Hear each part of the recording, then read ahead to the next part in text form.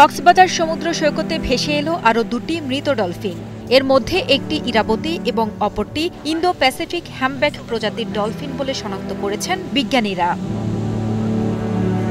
ষোলো ফেব্রুয়ারি সকালে Cox's Bazar Teknaf marine drive সড়কের উখিয়া উপজেলার ইনানি ও সোনারপাড়া সৈকতের জোয়ারের সঙ্গে ডলফিন দুটির মৃতদেহ ভেসে আসে বলে জানান বাংলাদেশ সমুদ্র গবেষণা ইনস্টিটিউটের জ্যেষ্ঠ বৈজ্ঞানিক কর্মকর্তা মোহাম্মদ তরিকুল ইসলাম। আজকে সকালে দুটি মৃত ডলফিন ভেসে এসেছে। তার মধ্যে সোনারপাড়া বিচে যে ডলফিনটি পাওয়া গেছে, তার নাম ইরাবতী ডলফিন। অন্যদিকে আজকে সকালে যে ডলফিনটা ভেসে এসেছে এসেছে তার নাম ইন্দো প্যাসিফিক হামব্যাক ডলফিন। এ নিয়ে গত দুই দিনে কক্সবাজার সমুদ্র সৈকতের ইনানি, হিমছড়ি, সোনারপাড়া এবং সুগন্ধা পয়েন্টে তিনটি ডলফিন, একটি বিপন্ন পরপইস ও দুটি অলিভ রিডলি প্রজাতির মা কচ্ছপের মৃতদেহ ভেসে আসে।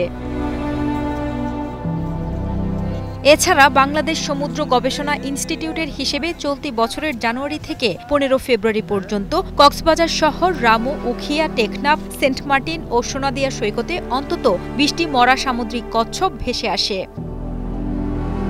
তবে কী কারণে প্রাণীগুলোর মৃত্যু হচ্ছে এর সঠিক কারণ অনুসন্ধানের জন্য নমুনা সংগ্রহ করা হয়েছে বলে জানান বৈজ্ঞানিক কর্মকর্তারা। এই ডলফিনগুলো হঠাৎ করে একসাথে এতগুলো ডলফিন মৃত অবস্থায় আমাদের সমুদ্র উপকূলে কেন আসলো এটা আসলে একটা চিন্তার বিষয়।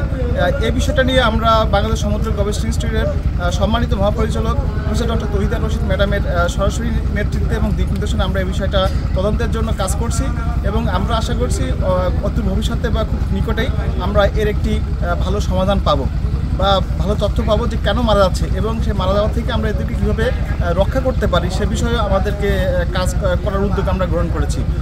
তো প্রাথমিকভাবে আমাদের যেটা জানা গেছে আমরা ধারণা করছি যে গতকালকে রাতে যেটা মারা গেছে আমাদের যে হিমছড়ি পয়েন্টে সেটির সেই ডলফিনটির ইরাবতী ডলফিনটির গায়ে কিন্তু শক্ত আহ, রশি ছিল এবং সেই রশিটি জেলেদের জালের রশি এবং বলে আমাদের কাছে প্রতিমান হয়েছে এবং আমরা ধারণা করছি এই এই রশিতে পেঁচিয়ে এই ডলফিনটি মারা যেয়ে থাকতে পারে।